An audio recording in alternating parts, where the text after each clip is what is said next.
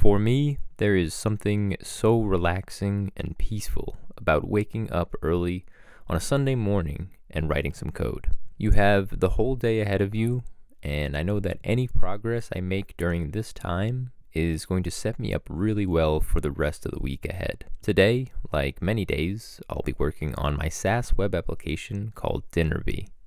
And if you're new around here, Dinnerbee is a platform mainly for couples to coordinate and plan their meals throughout the week. I'll be releasing the platform early in 2025, but I am currently in phase one of a three phase beta.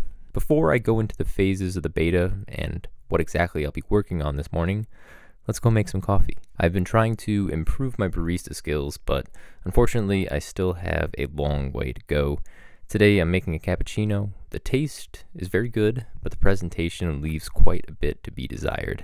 So, if any baristas out there, definitely let me know what I'm doing wrong. The weather is finally starting to cool off after another brutal Texas summer, so I like to spend some time outside in the morning while the air is still crisp and the streets are still quiet. I also find that I do significantly better work when I've had something to eat. So today I'll go with a simple avocado toast, topped with a runny egg, and some chili crisp. If you know, you know. But now let the fun begin. And let me start by explaining the beta phase that I am currently in.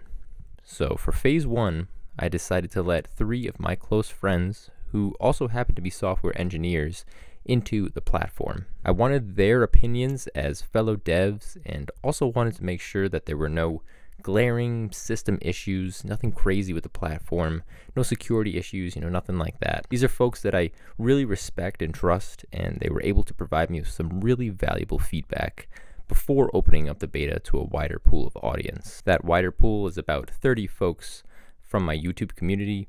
And you know, I wanted to make sure that the, the platform was in as good a state as possible before getting those folks into it. So for specifics, the bugs uh, slash improvements that I am tackling this morning are as follows. First, implementing some sort of UI indication that a recipe failed to save. So if you know there's an error in that creation process, I want to be able to alert the user that that has happened. Second, want to fix a bug that uh, caused ingredients to be added over and over again when editing a recipe. Third is creating a welcome email that sends to customers when they have successfully purchased and activated their account. And fourth are just some small bug fixes like making sure the list of calendars are aligned in a nice column, and some overflow issues we were seeing on the account creation screen when on a mobile device. These are enough items for a great coding session, and I love getting this kind of actionable feedback. No matter how big or small, I know that they will all have a positive impact on the platform in the end. When working by myself, it can be really easy to overlook things like this, so, being able to bring in folks who can see your blind spots is a really powerful tool that truly cannot be understated. Learning from your peers and learning in general is such a core reason for why I love building software. And that spirit of continuous learning and improvement is why I decided to partner with today's sponsor, Brilliant. Brilliant is where you learn by doing, with thousands of interactive lessons in math, data analysis, programming, and AI. And Brilliant really is the most effective way to learn, as each lesson is filled with hands on problem solving that lets you play with concepts. Uh, this is a method that has proven to be six times more effective than just watching lecture videos. Plus, all content on Brilliant is crafted by an award winning team of teachers, researchers, and professionals from MIT, Caltech, Duke, Microsoft, Google, and more. Personally, what I've found most impactful are their programming courses that develop your mind to think like a programmer. There are beginner friendly and advanced courses from general programming all the way to how LLMs work under the hood with real world applications and case studies that explain how to apply your new knowledge. To try everything Brilliant has to offer for free for a full 30 days, visit brilliant.org/gino or scan the QR code on screen or you can click on the link in the description. You'll also get 20% off an annual premium subscription. Thank you again to Brilliant for sponsoring the video, and in the time of that short advertisement, I've now got all the fixes for all the bugs and improvements that I talked about before. So let's hop into my computer to see the outcome of all of those. So first I'll show off those bugs real quick that have been taken care of now.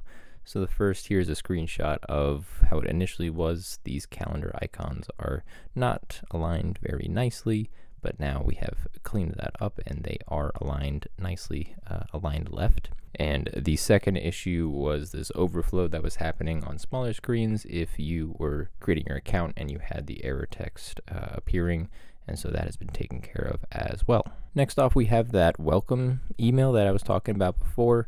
And so now, whenever a user signs up to the platform, uh, I do believe that a Stripe confirmation email will be sent as well in production environments, but I wanted to make sure that something was coming from the platform itself as well. So now we just have a nice link over to get started. This goes straight to the homepage and just has a nice message that says, Congratulations, you have successfully activated your Dinnerbee account. This next issue was the one that I was talking about for um, ingredients essentially being added over and over again if you were trying to edit your recipe. And this was a problem on the back end. Um, essentially, I was trying to delete the ingredients for a given recipe when someone edited it and then re-add them. Uh, and I just wasn't deleting the old ingredients. So um, as you can see here, that is what is happening um, for this user. And it was awesome feedback. I was able to look at this and kind of figure out exactly what was going on just from looking at this one video. So this type of feedback is, is incredibly helpful. The final bug fix for this session just comes on the create recipe page and essentially there was no indication to a user if something went wrong in recipe creation. And so, for example, if I try to type this huge long number, and I could have some validations here on the front end too, but I'm not super worried about that. Um, you know, this would violate something in my, my database constraints, and that is why an error would be thrown.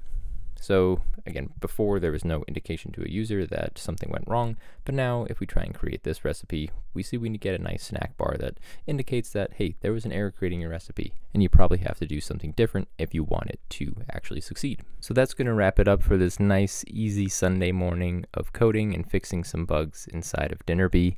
I'm really excited to share with you the feedback that I've been getting in this now phase two.